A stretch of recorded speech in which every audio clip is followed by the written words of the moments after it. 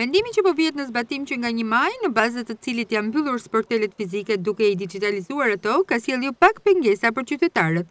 Të pyetur për A2CNN, ata shprehen se këto shërbime janë shndërruar në kosto për ta, pasi nuk dinë të aplikojnë për të marrë dokumentet që ju duhen.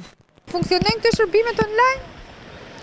Po me sa dimë ne funksionojnë, po që ta kemi përvuar realisht.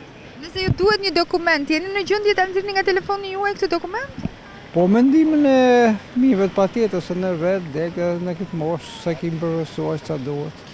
Unë mora një certifikatë në gjëndje të të në prefekturë.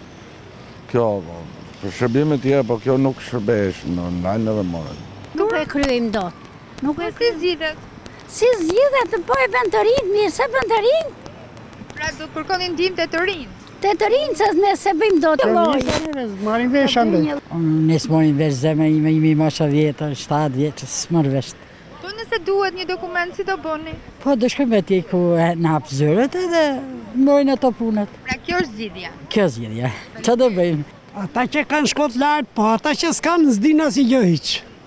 Po si i bëhet në këto raste? Si i bëhet duhen dy dy lloj sistemi, për të vjetrit për të rinjtë në shkollë. Ju për shembull dini ta përdorni portalin? Jo, kurrë. Nëse ju duhet një dokument?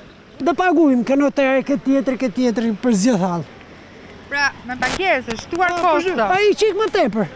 Po pak më tepër. Valla nuk e njohim fare me thënë drejt, nuk e din shketin, s'e dimë. Ne nuk dimë, po të rinjtë. S'dimë ta përdorim fare. Po mirë, nëse duhet një dokument.